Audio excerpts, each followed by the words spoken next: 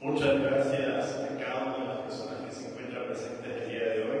especialmente a Joa y Gina Ochoa de la Organización de Estados Americanos por acompañarnos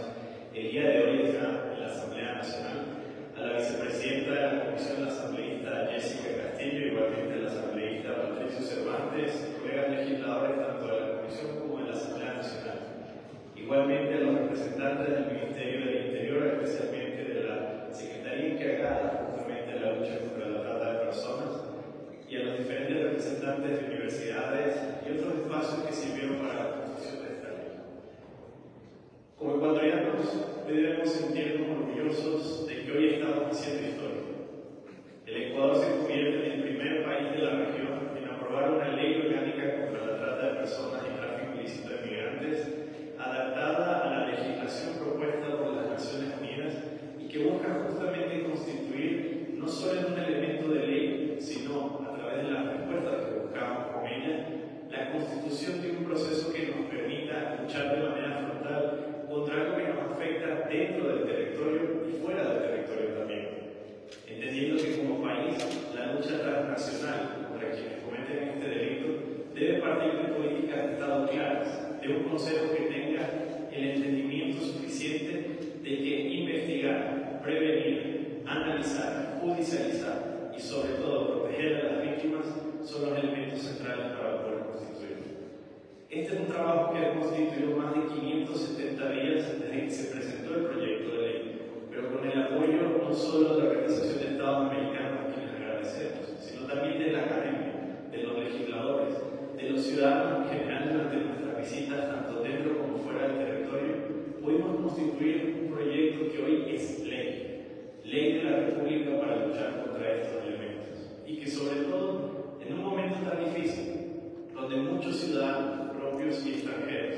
ven como la salida, el migrar, no se dan cuenta que detrás de las ofertas engañosas que les hacen a través de redes sociales u otros espacios, simplemente existe una búsqueda de que sean víctimas de diferentes grupos que lo que buscan no es precisamente un mejor mañana y un mejor futuro, sino por todo lo contrario, elementos que se constituyan en explotación laboral, sexual y de otras. Esta ley y su aprobación además será un marco importante para nosotros como ecuatorianos. Más del 70% de víctimas de trata de personas y tráfico ilícito de migrantes son mujeres y niños, por lo cual a propósito del 8 de marzo, sobre todo por la lucha y la reivindicación que representa, hoy hacemos una entrega oficial de esta ley a la Organización de Estados Americanos con el compromiso de que como país sirvamos de ejemplo para el resto de América Latina y podamos construir una legislación que nos permita luchar dentro y fuera de nuestras fronteras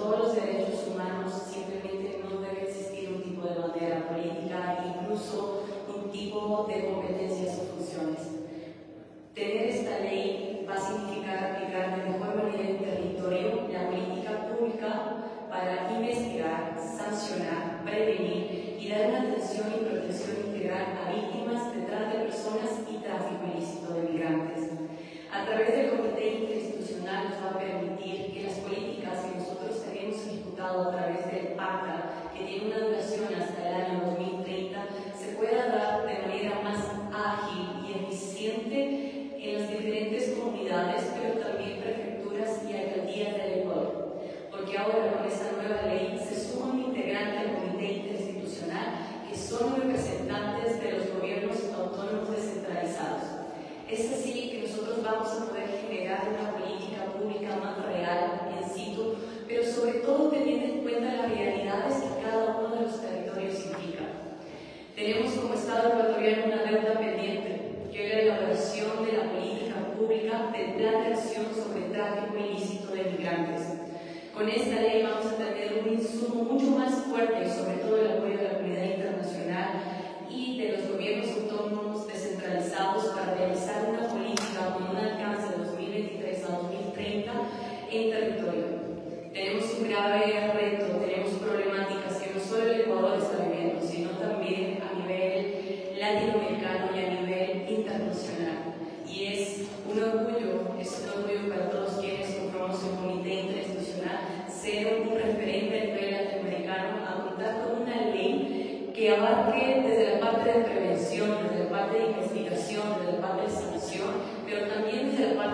y protección. La trata de personas y el delito de tráfico ilícito de migrantes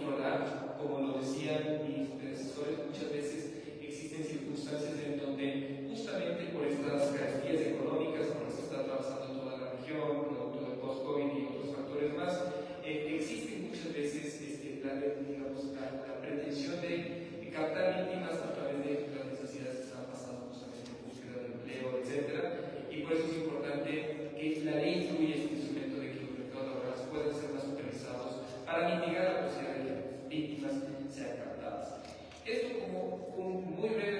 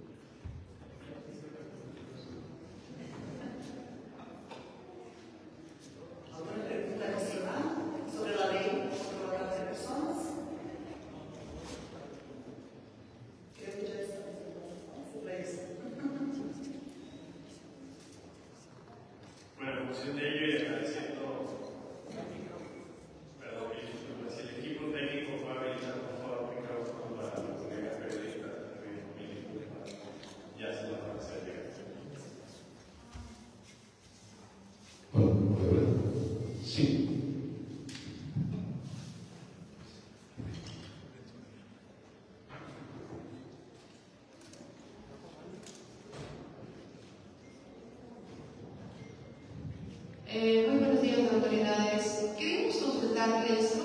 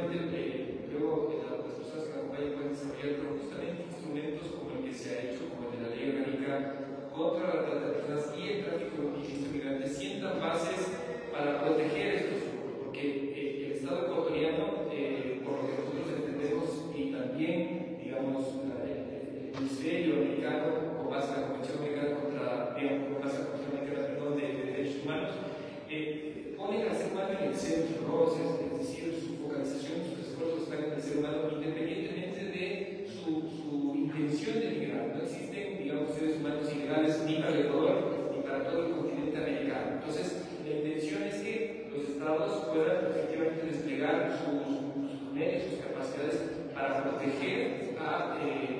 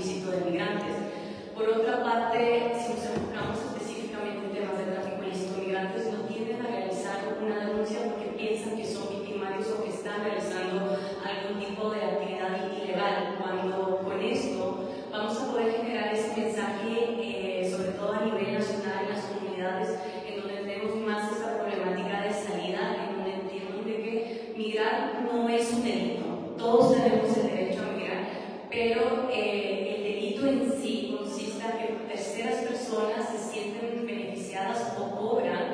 eh, un beneficio económico o de otra instancia justamente por la necesidad de las personas. Con esto vamos a hacer un trabajo con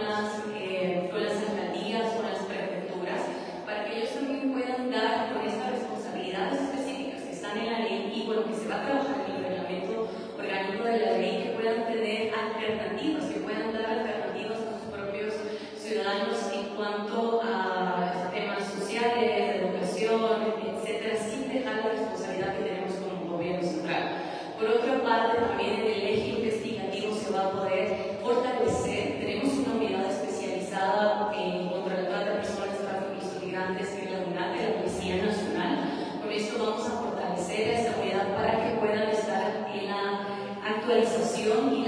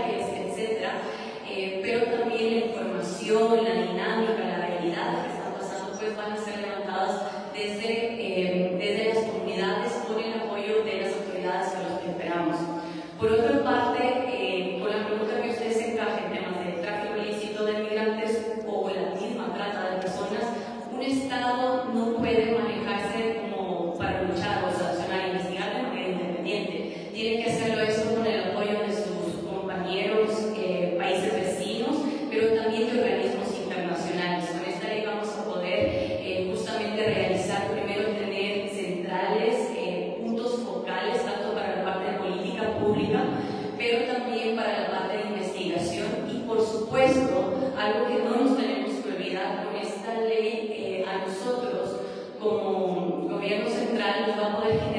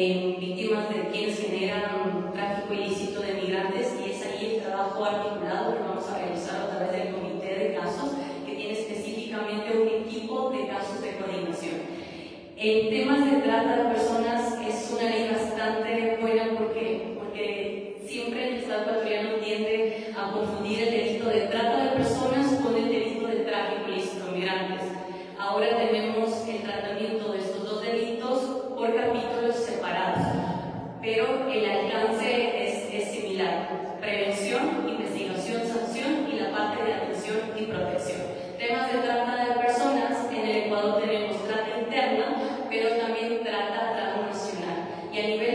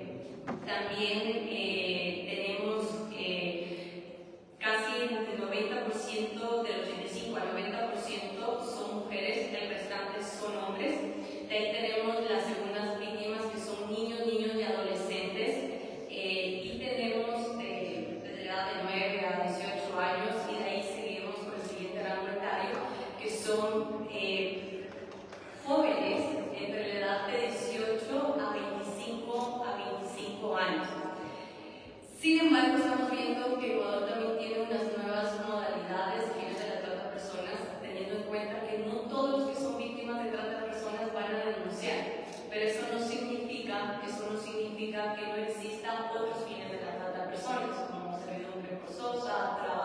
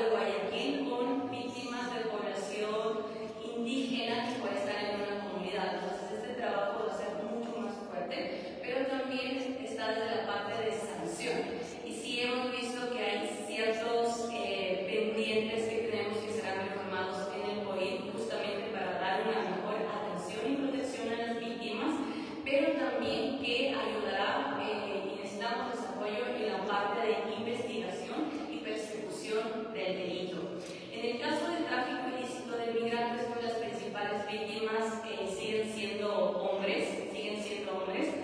eh, de diferentes grupos etarios, pero también depende de la situación, lo que les comentaba en un inicio. A nosotros tenemos